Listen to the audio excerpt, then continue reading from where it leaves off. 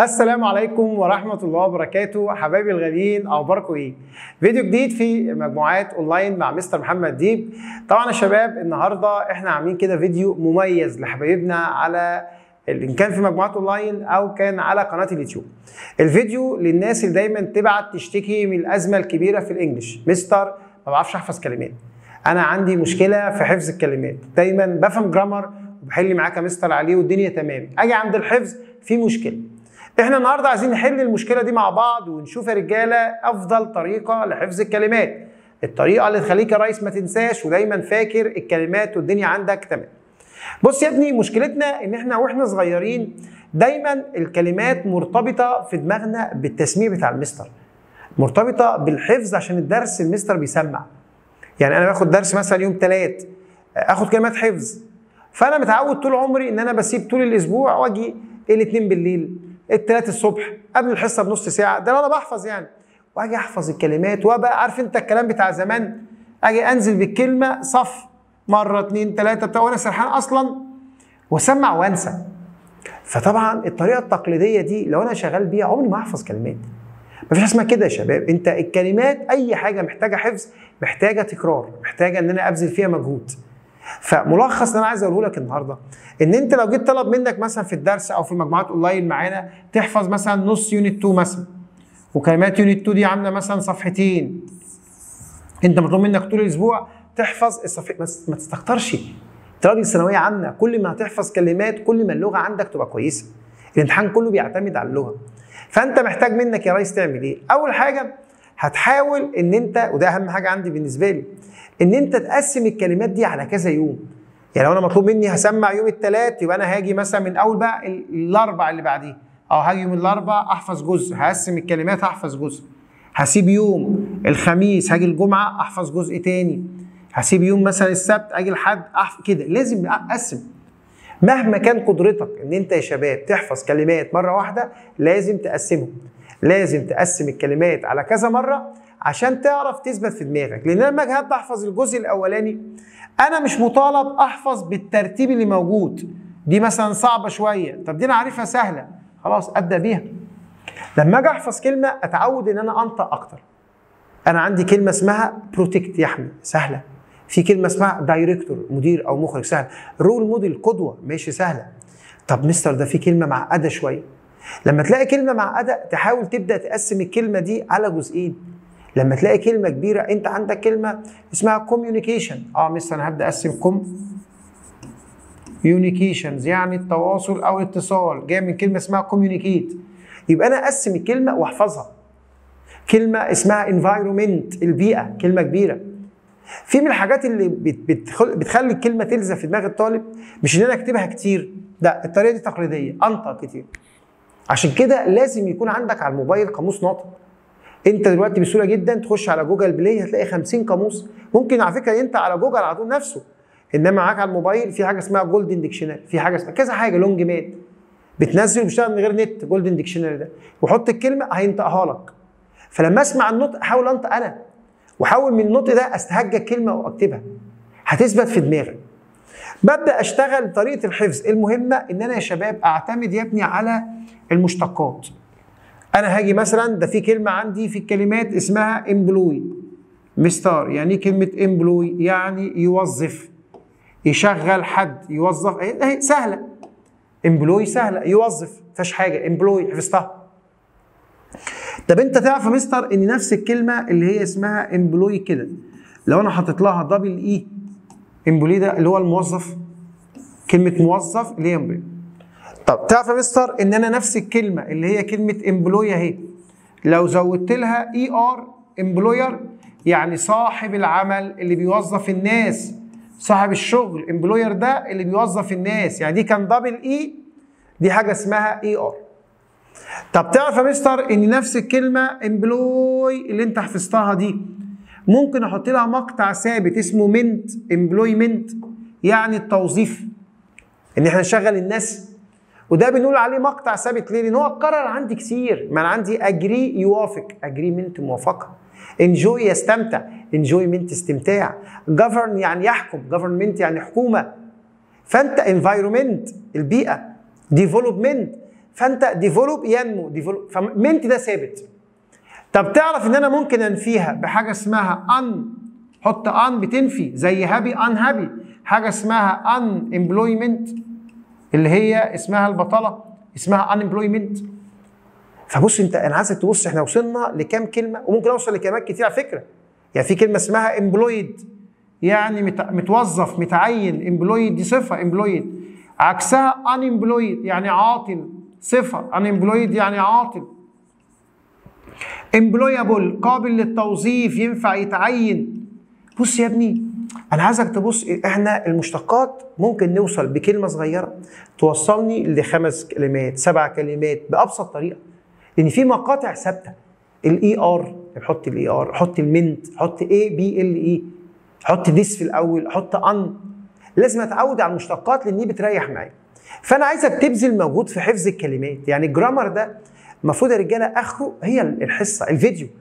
إيه ده مستر طب أنا عايز مثلا عندي درس اسمه ال present perfect المضارع التام ده موجود في unit 1 هات يا ريس خش على اليوتيوب اكتب مضارع التام مستر محمد ديب هتلاقي موجود يا ابني الشرح. اتفرج عليه. إيه ده؟ ده مستر since و for والفرق بين has ده؟ أنا فاهم يا مستر. ده أنا مجرد بقى في الفيديو بفتح تك تك تك بحل. يبقى ال English ما بقتش مشكلته grammar ال English بقى مشكلته ان أنا احفظ vocab. ان أنا طول الأسبوع بذاكر vocab.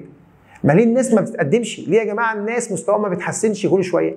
لأن هو طول الأسبوع مركز على الجرامر بيذاكر جرامر ويحل على الجرامر ويجي على الكلمات آخر الأسبوع يفكر هحفظ هسمع إيه بقى؟ لازم الفكرة تتمسح. لازم أبدأ طريقة جديدة نظام جديد يبقى شغل جديد.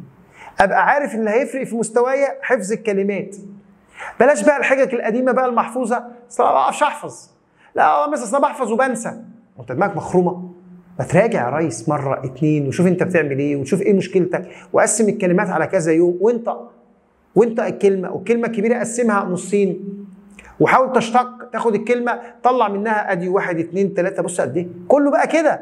الكلمة الواحدة هتزود يا عم تعالى يا عم كلمة زي كلمة develop ينمو أو يتطور أهي develop ينمو أو يتطور. لسه قايلين كلمة اسمها development development التنمية أو التطوير development طب ده في دول اسمها developed يعني متقدمة. developed countries بتساوي advanced يعني دول كده متقدمة advanced يعني developed وفي دول اللي هي developing يعني دول نامية. لسه بتبدا فأنت محتاج لازم لا يا ريس لازم تظبط نفسك. لازم تظبط نفسك في حفظ الكلمات. أكتر حاجة بقى هتثبت الكلام ده في دماغك تمسك الكلمة تحطها في جملة بقى. بص هو ده ال English بقى. أنت راجل نطقت كتير employ يوظف employee موظف employer صاحب العمل employment توظيف unemployment البطالة. أنت عمال تعيد يا مستر وتشتق حط بقى وبتعرف اشتق من ده حط وبقيت متعود إمتى؟ الحاجات اللي بتحول الفعل لصفة أو أنت بتحوله ل noun وعمال أشتغل معاك يا مستر والدنيا تمام. convenient مناسب inconvenient غير مناسب suitable كده. أبدأ بقى أحاول أعمل جمل. أخد يا جماعة الكلمة اللي أنا عايز أحفظها. أنا مطلوب مني النهارده هحفظ 20 كلمة. هحفظ 20 كلمة. أنقي منهم كده 10 كلمات وأحاول أحطها البطالة. يبقى لما أجي أقول له والله يا عم صدق إن البطالة أن اللي أنت حفظتها employment البطالة. مالها البطالة دي؟ is a serious هي مشكلة خطيرة. Is a serious problem. هي مشكلة خطيرة. فين؟ In our country في بلدنا. الله عليك يا نجم. ده انت مسكت الكلمة اللي إحنا كنا عايزين نحفظها. Unemployment البطالة. Is a serious problem. مشكلة خطيرة in our country في بلدنا. ده بص بقى ده الطب بقى. إن أنت تاخد الكلمة تحطها في جملة. بتثبت الكلمة في دماغك. بتقوي نفسك جدا في تأليف الجمل وإن أنت قوي في الإسي. كل ده بيعلي اللغة عندك. لو انت على الأقل كل مرة وانت بتذاكر طبقت حاولت ان انت تعمل خمس جمل سبع جمل هتلاقي مستواك اختلف تماما. يا جماعة الكلام ده عن تجربة. هو ده اللي فرق في مستوى طلبة كتير. يعني انسى موضوع ان مش مش بشرح جرامر كويس وأنا بفهم منه كويس قوي وبحل على الجرامر حلو جدا وبعد كده عدل الجرامر وشرح لي التريكات. كل ده بص, بص, بص عاملين ندور في دايرة مش هتخرجنا حتة. هنفضل كويس في الجرامر في الامتحان بيجي كام جملة جرامر قليل جدا. الامتحان كله لغة. إيه اللي هيفرق في مستواك؟ هي المذاكرة كده. هو ده النظام الجديد. هو ده اللي أنت لغتك تبقى قوية. لما تبقى حافظ كلمات وتعرف تدخلها في جمل وتعرف تطبق مرة واثنين وتشتق هو ده اللي هيخلي مستواك كويس. فأنا عايز الناس يا شباب تبدأ تطبق الطريقة دي. ناخدها تجربة أسبوع. إن ابدأ معايا مثلا كلمات unit 1 شوف كلمات unit 1 موجودة في كتاب جيم في المعاصر في مذكرة مدرس. موجود عندك كام كلمة؟ حفظ. هندي نفسنا أسبوع. تعالى كده أقول يا مستر أنا عندي أسبوع أهو وهاجي الأسبوع النهارده مثلا الخميس هاجي يا مستر الخميس الجاي وهطبق الطريقة بتاعتك وأشوف فرقت معايا قد إيه. إن أنا هقسم الكلمات دي على ثلاث مرات أو أربعة. كل مرة أحفظ 20 30 كلمة يعني نقول مثلا مستر أحفظ 120 كلمة. ماشي مهما لو أنت متوسط. زودت شوية 150 براحتك. لما بدات مستر يوم الجمعه هاخد الجدول الاولاني ده ادور على السهل لقيت كلمة سهل لقيت director. لقيت article يعني مقال. لقيت كذا كلمة سهلة مستر أنا كده حفظتهم والدنيا بالنسبة لي تمام والدنيا مستر بالنسبة لي كويسة جدا جدا. حفظت الكلمات دي اللي أنا عايزها. طب حفظتها كويس جدا جدا. دخلت كام كلمة في جملة؟ والله مستر وأنا بحفظ unit 1 لقيت كلمة مثلا اسمها casualties يعني خسائر. كلمة اسمها compensate يعني يعوض. كلمه اسمها cheat يعني غشاش أو يغش. كلمة مستر tabloid صحيفة شعبية. فممكن يقول مثلا مستر I bought أنا اشتريت امبارح a tabloid. يعني اشتريت tabloid. speaking about بتتكلم عن the life of a famous actor بتتكلم عن حياة فنان مشهور. فيها موضوع كده عن حياة فنان ما ده ال tabloid. غير broadsheet صحيفة واسعة الانتشار حاجة رسمية formal language broadsheets دي يا ابني بتستخدم ال formal language اللغة الرسمية. يبقى أنا مثلا حاولت أعمل إيه؟ أدخل كلمة cheat يغش. أقول للراجل ده على فكرة he won't he won't cheat you هو مش هيغشك. it isn't his style ده مش أسلوبه. يبقى أنا عمال أمسك الكلمة ألقط في كلمة أنا عارفها وأحاول أعمل جملة. يبقى أنا يا جماعة الفيديو ده أنا مركز فيه على كيفية حفظ الكلمات. وازاي اسهل طريقة الطالب يحفظ فيها الكلمات. ملخص الفيديو ده. اللي هيمشي بالطريقة التقليدية اللي هيقعد يحفظ لي الكلمات ينزل لي بيها صف. ينزل لي صفين ولا هيحفظ حاجة وهينسى. ودام مش بتراجع كأنك ولا حفظت حاجة. إنما الكلمات تكرار. احفظ راجع قسم الكلمات. كل كام يوم راجع القديم اللي انت خدته. دخل الكلمات في جمل. قوي نفسك في حتة الكلمات. اقرأ كتير. انطق كتير جدا. خلي قاموس ناطق على موبايلك. اسمع النطق الصح. كرره. حاول إن أنت تتعلم تشتق. جيب جدول مشتقات كده خد كلمة واحدة استغل الكلمة دي ممكن أطلع منها سبع ثمان كلمات ده مصلحة بالنسبة لي. فيا رب يا جماعة تكونوا استفدتوا من الفيديو ده وهنحاول مع بعض نتابع الناس ومستني رأيكم على الطريقة دي اللي هيعرف يجربها ويقول لي مستر الدنيا مشيت إزاي. عندك مشكلة في أي حاجة تانية ابعت لي عشان نعمل لك فيها فيديو وربنا يوفقكم. والسلام عليكم ورحمة الله وبركاته.